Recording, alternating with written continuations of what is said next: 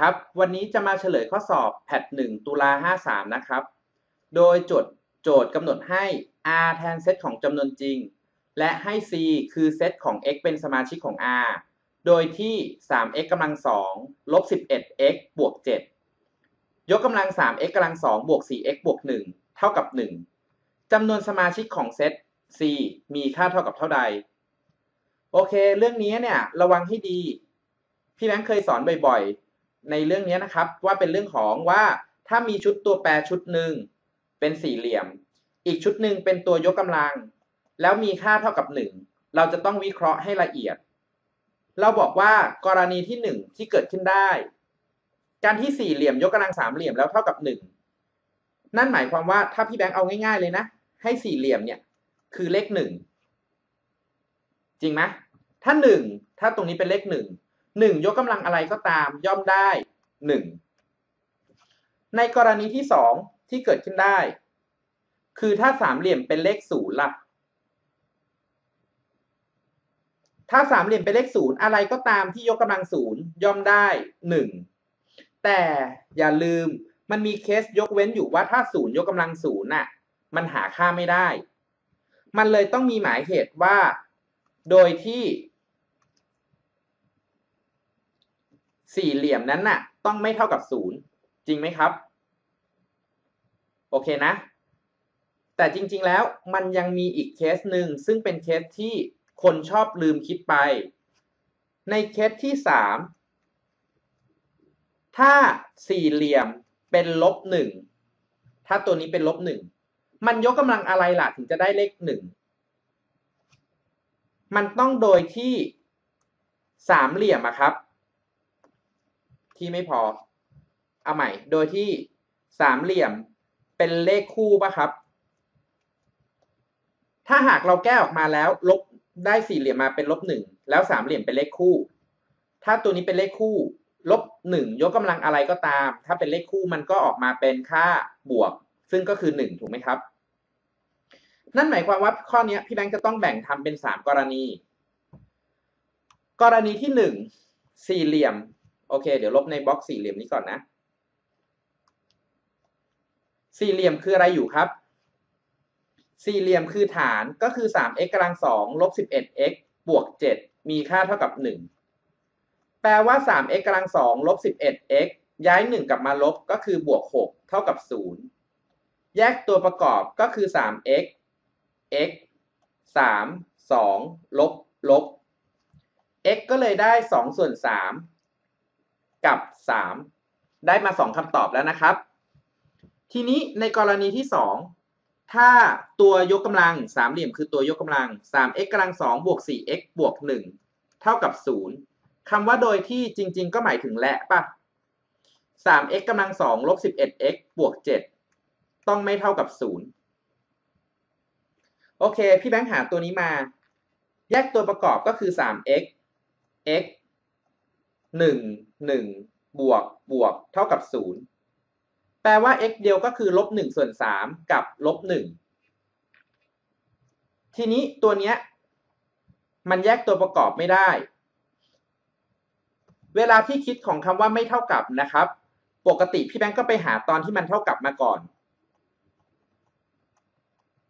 แล้วเดี๋ยวค่อยมาลบ ค่อยมาบอกว่ามันห้ามเป็นตัวนั้นน่ะ ในเมื่อแยกตัวประกอบไม่ได้พี่แบงก์ก็เลยนึกถึงลบ b อะครับ ลบ b ก็กลายเป็นลบของลบสิบเอ็ดบวกลบรูท b กำลังสองขอคิดเร็วนิดนึงนะ ก็เลยกลายเป็นร้อยยี่สิบเอ็ดลบสี่ ac สี่คูณสามคูณเจ็ดได้อะไรเอ่ย หารด้วยสอง a ก็คือสองคูณสาม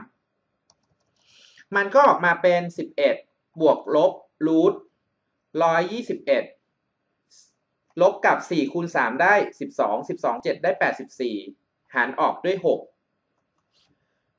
ตัวนี้ก็เลยกลายเป็น 11 บวกลบรูท121 ลบ 84 เหลือเท่าไหร่เอ่ย เหลือ 37 ส่วน 6 ดังนั้น x ของเราอะ มันไม่ใช่ 2 มันไม่ใช่ตัวนี้อยู่แล้วป่ะ เพราะมันติดรูทดังนั้นแปลว่า 2 ตัวนี้พี่แบงก์ก็ใช้ได้อีกเช่นกัน โอเคไหมครับ ตอนนี้ใช้ได้ 4 ตัวแล้วนะ แล้วกรณีสุดท้ายกรณีสีเขียว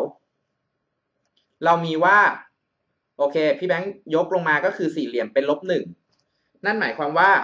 สาม x กำลังสองอืมขอดูโจทย์นิดนึง ลบสิบเอ็ด x บวกเจ็ด